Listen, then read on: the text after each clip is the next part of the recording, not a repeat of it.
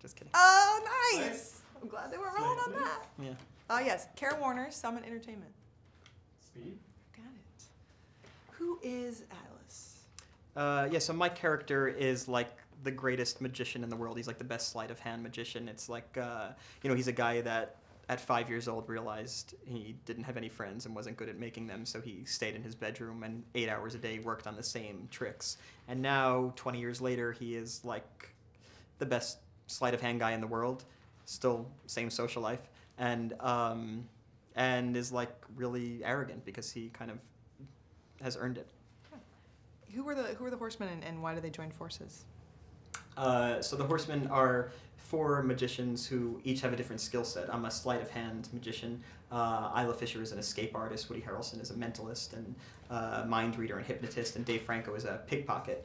And so um, the four of us are recruited to join this group to um, pull off these bank heists, to steal money from like corrupt businessmen and distribute them to people who have been stolen from. And so uh, we each use our own specific skill set to pull off these incredible feats. Nice. Who would? What's What's the audience payoff? Do you think? Who should see it? Oh, um, I guess you know anybody with any kind of like sensory applications would like this movie because it appeals to um, really mainly two of them, sight and sound. Um, and you know, I think people will like it because it. You know, when you watch the movie, you're kind of watching these things that seem impossible. Like in the first show that we do, we we um, you know rob a bank in Paris from a stage in Las Vegas, and it seems like it's this impossible thing, and yet in the next scene, uh, the FBI is trying to figure out how we did it, and they're kind of like uncovering the tricks of how we did it, and you realize like, oh, it's actually not only a possible thing to do, but it's like less complicated than I expected. So thriller, mystery, crime, all kinds of things rolling in one. Yeah, I guess so. I mean, those are all like I guess like movie genres, and I guess this movie kind of maybe transcends a lot of different movie genres because there's so much happening in it. But um, it's hard for me to like account for that. So like the thing I like about it the most is like that the characters are all like uh, really unique, and my guy is like this really kind of um, fun, uh, you know, like mm, like fun guy to play because he's like, you know, it's fun to play somebody who like thinks they're the best at something because it gives them like carte blanche to act like an awful person to everybody else in the room. Yeah. What for you was the the most magical day on set? Um, uh, well, we, we had been filming a lot of like some of the more intimate scenes, and then we got to perform this like first show in an arena, and uh, the show was supposed to take place at like the um, MGM Grand Hotel in Las Vegas, and we're performing for like thousands of people.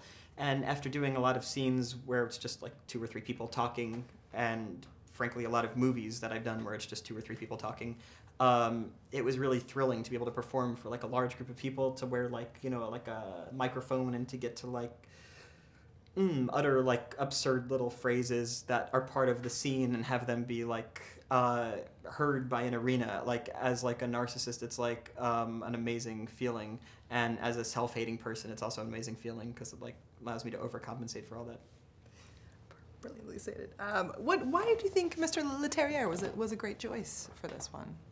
Well, um, I was really, uh, I was really Im- impressed that Louis wanted to hire like such amazing actors for a movie um, that has such an interesting storyline that probably could be interesting even without great actors because like it already has like such an interesting plot, and Louis is like an amazing director, um, very innovative, coming up with camera angles and shots and action sequences that are really special and unique. Um, and uh, you know, it's the kind of thing that is enhanced by a great group of actors, but I think doesn't necessarily require it because it has so many other things going for it.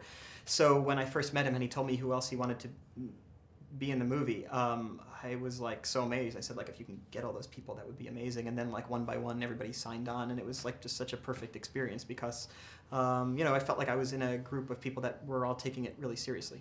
Yeah, so great. When can we see it? What's that? When can we see it? Anytime. Anytime. I mean the release date. Oh, um, yeah, the movie comes out May 31st, 2013. And, um, uh, yeah, uh, my, um, yeah, but anytime after that, you could watch it. I'm sure like on a million different little video screens. Perfect. Yeah. Perfect. Yes. Perfect. Okay. Thank you so much, sir. Thanks Love that. Nice Alright. to see you again. Likewise. I think you only have a couple left.